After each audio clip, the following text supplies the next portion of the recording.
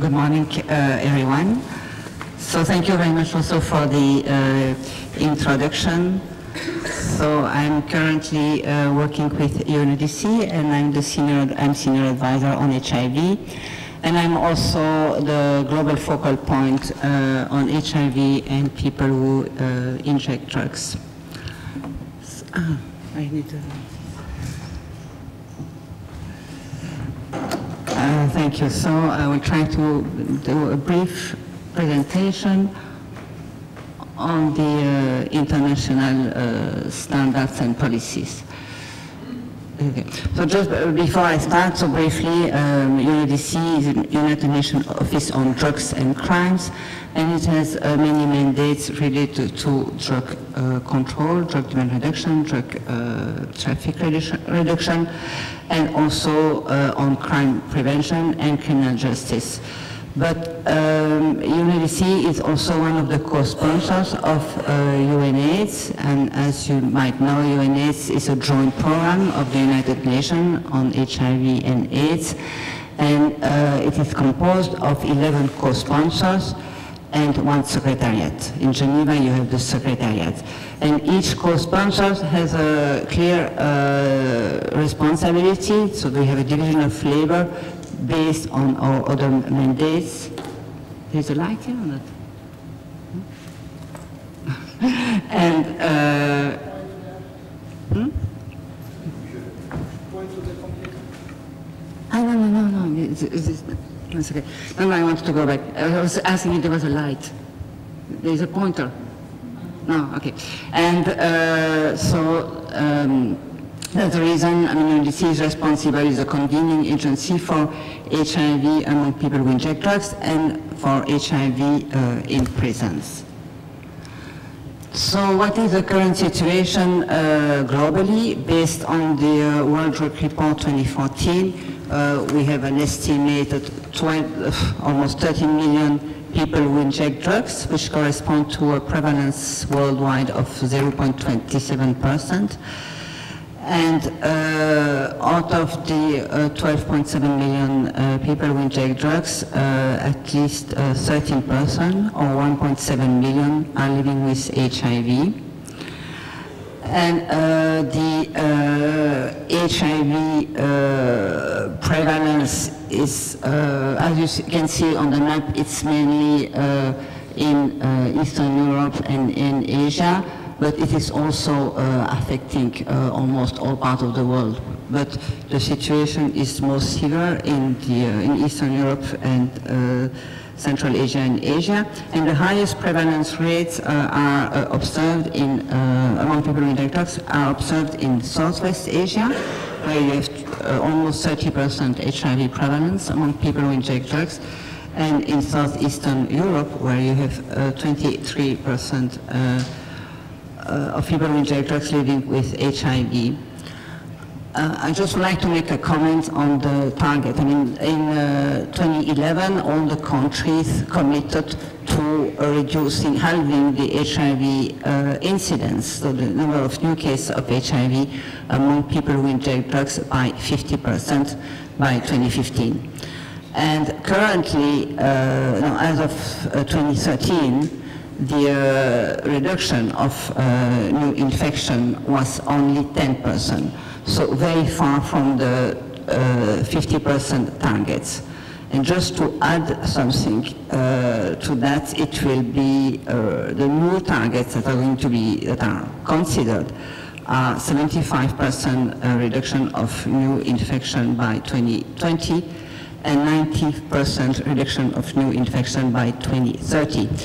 And this, uh, considering that uh, the low progress we have made at the, um, at the global level, so only 10% reduction in three years, uh, it will require drastic and very focused uh, uh, interven interventions.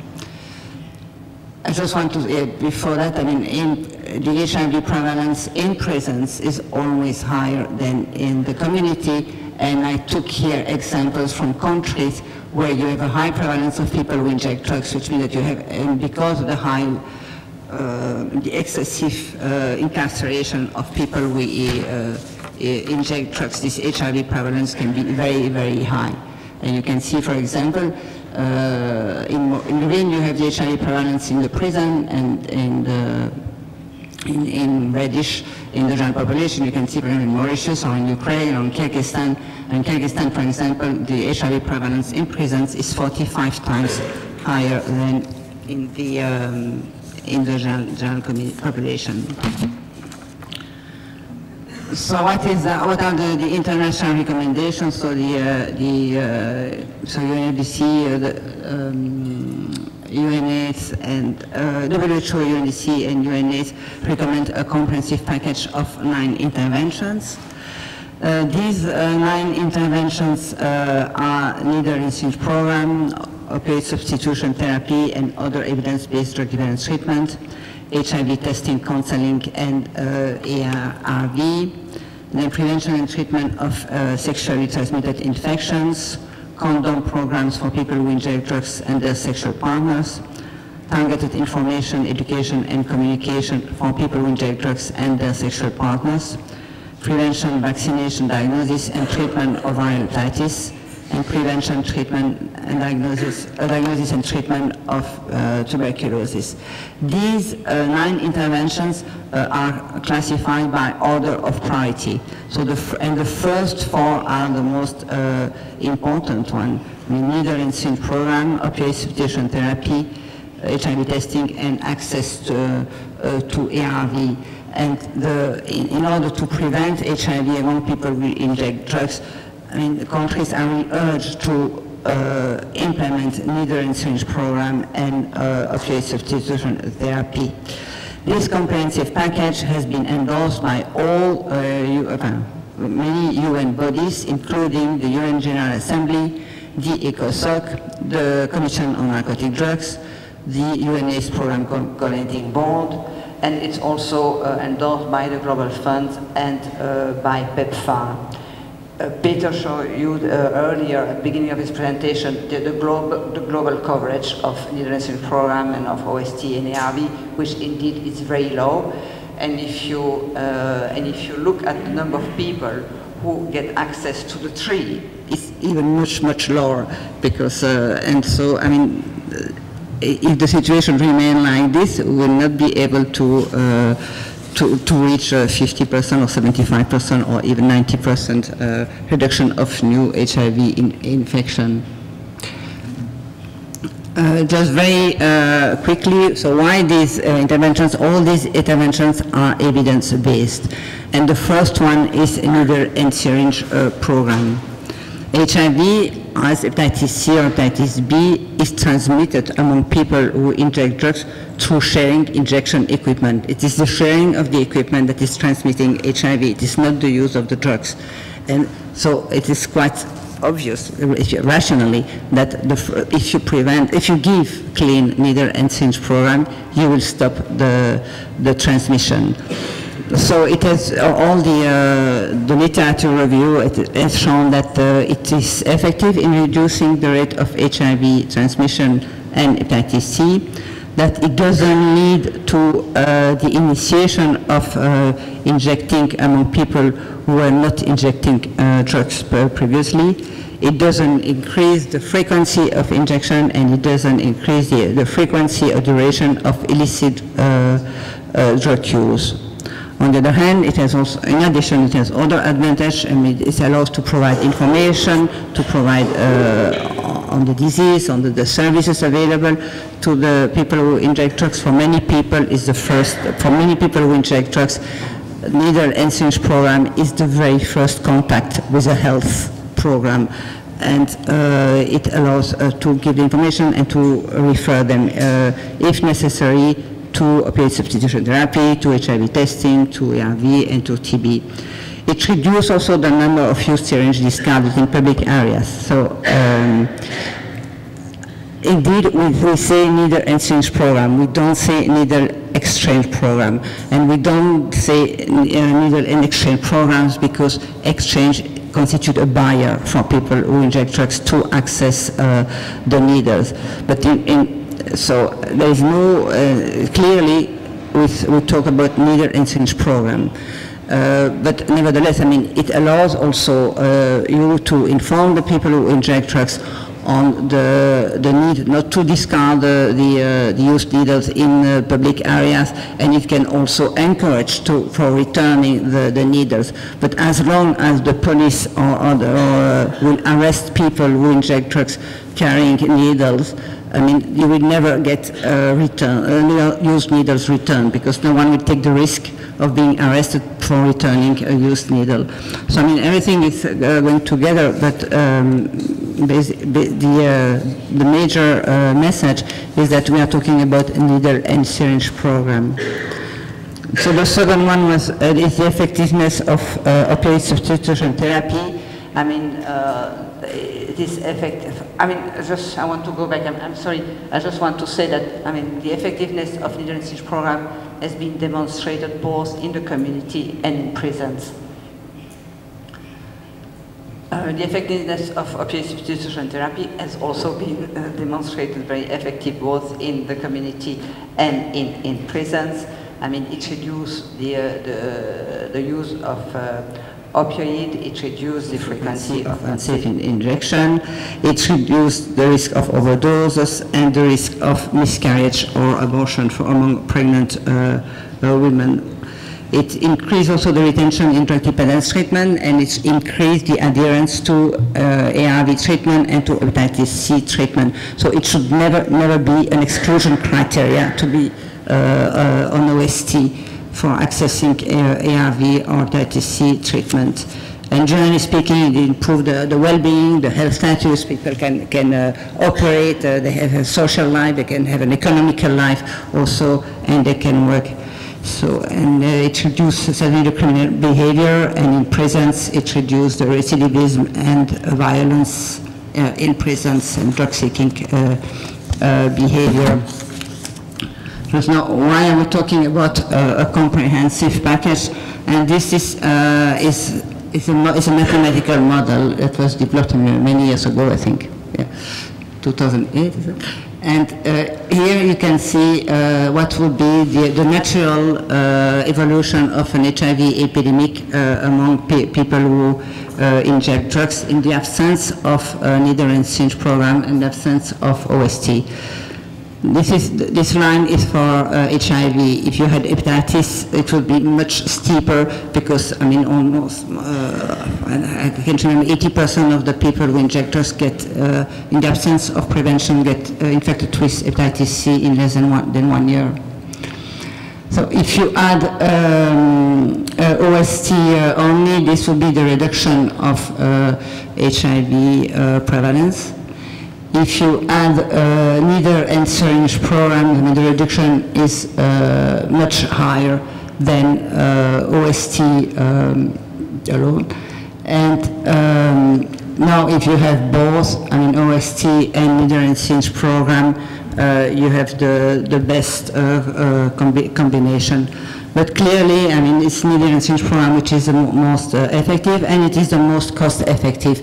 And uh, it is not only cost effective, New program, it also uh, gets benefits. So you have a return on investment if you in, uh, invest uh, on, um, on the Netherlands program, the benefits uh, are higher than the investment. And um,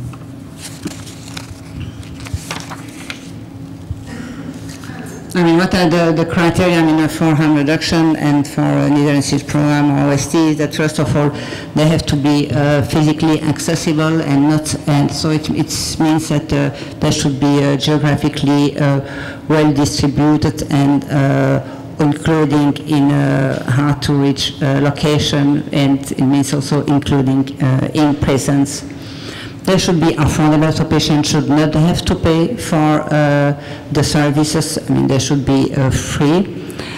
And they should be equitable and non-discriminatory, so you shouldn't have no, no exclusion criteria except uh, for medical ones, but I mean, that is mainly for uh, OST and there is almost no exclusion, medical uh, exclusion criteria. So um, opioid substitution therapy should not be limited to, to the people who inject drugs who are only living with HIV or, or have failed other drug dependence treatment and you shouldn't have uh, compulsory treatment. And uh, finally, the, the services should be not rationed. It means that you should not limit the number, uh, for example, the number of uh, syringe. You should, um, for example, you should never have a strict exchange because uh, if a drug user comes and, and return, uh, I don't know, two, two syringe, and you have programs where they would give only two syringe in exchange, uh, two new syringe in exchange of two use syringe, the problem is that it doesn't correspond to the need of the person. And the person, if she, if she or he doesn't have uh, enough needles, will share. And the objective is that they don't share, they don't use other needles, so uh, you would fail uh, uh your, your um, objective, so there is no reason for, to, for restriction. Also, according to the drug use, I mean, the, needs in syringes might differ. I mean, people who uh, inject heroin typically would inject three times a day. So people who inject cocaine or amphetamine uh, might uh, inject 20 times, 20 times a day for a short time a short period of time, a few days, and then stop. And so the needs uh, might be very, might differ a lot from one person to another just to illustrate the effectiveness, this is, this is in Mauritius, so it's not in Europe. and um, in Mauritius, it's a special situation in Africa because it's an island on the Indian Ocean, and it has a very high prevalence of people who inject drugs, and it's one of the highest. It, it's, it's, a small population, but if you if you look in prevalence, it's much it's very high. It's one person or more. I can't remember. But anyway, and so they were facing a very uh, severe uh, HIV epidemic among people who inject drugs, and it was completely concentrated among people who inject drugs. The epidemic, they, they don't have general epidemic. And um, in you can see uh, in, uh, in blue here, you have the new, the total new uh, cases of HIV, and uh, the orange line is the new HIV uh, cases among people who inject drugs. So you can see how it increased uh, dramatically very, very fast between 22, 25. And in uh, 25, they, de they decided to introduce needle and syringe program, and the, the, the, drop in the number of new cases is, uh, is very important, it's very impre impressive and, and immediate. And then uh, a year later, they start introducing uh, OST, and the, the drop continued. But I mean, just I, think this illustrates very well the effectiveness uh, of uh, needle and syringe program and OST to control an, an, epidemic. Even in this case, was a new epidemic among HIV, among people who inject drugs. Just uh, I just mentioned earlier that the um, that needle and program in OST uh, should be available, uh, accessible in presence also. And I just want to mention the uh, UNODC uh, comprehensive package for HIV in presence, which has 15 interventions, but and out of these 15 interventions, you have all the, the nine interventions from the comprehensive uh, package for HIV and people who inject drugs. So all the harm reduction uh, inter inter interventions uh, are there. I will not go through all the, the, the, the principles, but the main one, I mean, is the, the in present, present health is public health, and that um, the the services in present should be uh, based on human rights uh, standards, which means, uh, which in one of the most uh, important uh, is the principle of equivalence, that people who are in prison should access the same services, health services, as the people in the, in the, in the community. Now we'll come back to the criminal justice reform and prison reform. Just to show you an example how effective it can be uh, in presence, uh, on the, the upper part of the of the slide, you have the HIV, uh, um, the number of new cases of HIV in Lithuania uh, without and syringe program, without opioid substitution therapy, with HIV testing, that is mandatory HIV testing, and with a low coverage of ARV therapy and uh, some uh, peer education program the, and you can see the number of new cases increasing, of HIV cases increasing uh, in Lithuania. And in Lithuania, again, we have the same uh, pattern. It's a, an epidemic driven by sharing injection equipment. On the lower part, you can see in Spain, where you have emergency programming all present, you have opioid substitution therapy, you have HIV testing and ARV, and you can see the drop in the number of new cases of HIV uh, infection in prisons. I mean, there, there are many uh, bottlenecks. I mean, it's not only uh, the uh, the services themselves. I mean, the, and we know what uh, needs to be done, and uh, we know what is uh, necessary to control the the um, the epidemic. And um, However, as it was mentioned uh, several times before, the coverage is very low and the access uh, is very low. And even, I don't know, 25 years after uh, all the evidence has been developed, many countries are still struggling uh, for uh, giving access of people who inject drugs to uh, needle program and opioid substitution therapy we, uh, you know, you see we had a strategy uh, for um, to try to support the countries to uh, reach the, the 50% reduction of uh, new HIV uh, infection uh, by 2015. And the strategy was global, so we had identified 24 high priority countries. And in each of these countries, we, we asked them to develop a plan of action from 2013, from 2015, focusing on the bottlenecks. And even if, these 24 countries were in all parts of the different parts of the world, from Asia to Latin America, uh, from Far East to, to uh, Latin America, and the bottlenecks were almost uh, everywhere the same. I mean, we put the first one, the strategic information. The lack of strategic information is not a bottleneck as such for uh, implementing. You, you don't need very uh, very solid strategic information to start implementing. If you know the situation like that, you don't need it. The problem is that you, you need it for advocacy very often. If you don't have uh, data, uh, it's very difficult to um, advocate and also for uh, monitoring. So the poor access to and the poor quality of harm reduction services was uh, uh, certainly a, a, problem and the need for uh, capacity building uh, was everywhere uh, identified. But mainly what I want to insist is on the lack of supportive policy and uh, legislative uh, uh, environment. And in, it's not only the, the legal uh, framework that is, might be not uh, adequate. Sometimes the, the, legal framework is adequate, but the attitude of the law enforcement agencies is inadequate, is not um, uh, supportive. So I think that the policy, the, the, uh, the legal framework is one thing, and the other one is the attitude of law enforcement uh, agencies.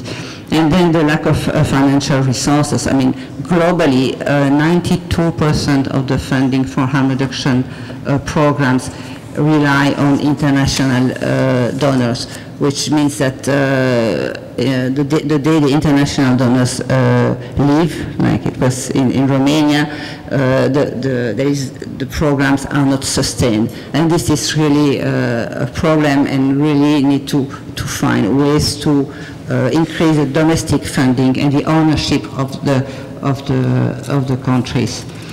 And, uh, but all these situations, all these bottlenecks are really uh, underpinned by the high level of uh, uh, stigma and discrimination against people who inject drugs. And this uh, stigma and discrimination is in the general population, in the media, and uh, but also in the health, uh, general healthcare uh, uh, services and certainly among the law enforcement agencies. And this is really the, the, the, major bottleneck, the major, the, the major um, point.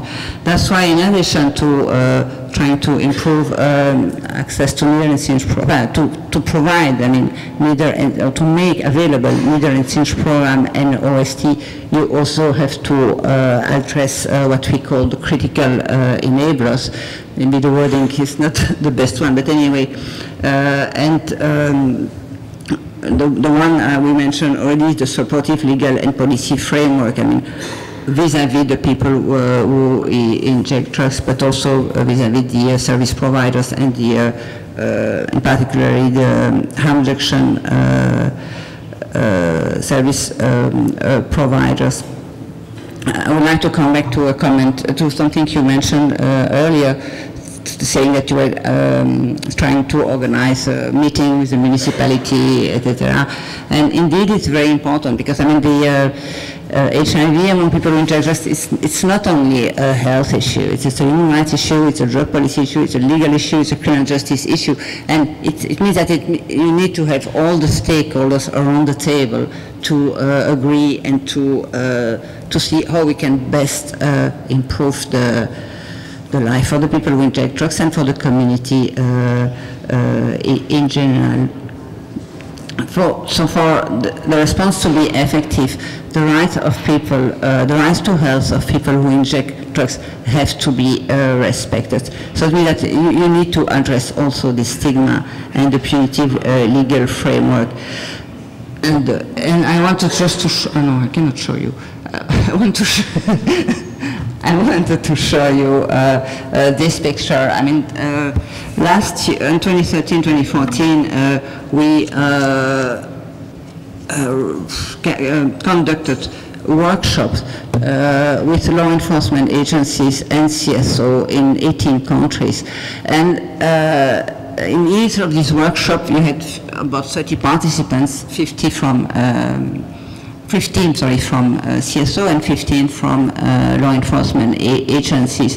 And the objective of these uh, workshops were to um, to uh, inform the, the, law enforcement agencies or what is HIV when people inject, what is people inject, who are people who inject just what is the, um, the influence of their attitude on people in drugs to access services and how they, can, they can become supportive uh, for uh, people who inject drugs to uh, access the, the, services. And on the other hand, for the CSO, it was to try to, the, the, objective was to increase their capacity to advocate with uh, the, the, the police so for two days, I mean, this group of 30 people were together in the same in the same room, exchanging on their, their concern priorities, trying to to, under, to understand each other and understand the, how can best work uh, together. What was really uh, amazing, or maybe maybe not amazing, but the, it was the first time for all of them, for the first time that they had an opportunity to have a dialogue, an open, free dialogue. And, uh, and it was something that they, they evaluated as one of the best uh, results of uh, this experience. So I think the, the, the, the lesson is that, I mean, uh, there is a need for dialogue and you, you, cannot, there is a need for dialogue and to explain to each other uh, what are the needs and what can each of us uh, do. It is important to mention that uh, harm reduction interventions are not in contradiction with the International Drugs Convention and that the international drug policies uh, do neither require incarceration of drug users nor the criminalization for the use of drugs. And this is very important when you uh, try to uh, address the legal framework. I mean, there is no need to criminalize the use of drugs or the possession of drugs for personal use according to the um, International Drug uh, Convention. And uh, last but not least, I mean, uh, it is very important to, uh, to ensure appropriate uh, funding, and I think we'll also see uh, the example of Greece, the negative impact of stopping uh, funding, as, as I mentioned uh, before, uh, domestic funding because it is, first of all, it is, there is a benefit for the countries to invest in harm, in harm reduction. And uh, number two, I mean, uh, for, for the sustainability. Just before I stop, I just would like to show three uh, new uh, publications we had uh, this year, yes. So the first one is a, a, training manual for police and on HIV and people who inject drugs. Uh, and the idea is that uh, the, the police can, could use that in their training academy uh, to sensitize them on HIV and people who inject drugs. The second one on the right is a policy brief on HIV and women who inject drugs, which goes beyond the comprehensive package but also address the specific needs uh, of women. And the last one is a handbook on how to implement needle exchange program uh, in prisons, and I think it's here. yes. So before I start, I would like to uh, quote uh, our executive director. And, um, and this is a quote from uh, the speeches at the UNAIDS uh, Program Control Board last uh, July. It, unfortunately, many national drug control systems rely on sanctions and imprisonment rather than evidence-based healthcare in full compliance with human rights standards and these are major barriers to HIV and harm reduction services, including in prisons and other closed settings. Thank you. You- can see here the, the, our website and uh, my email address.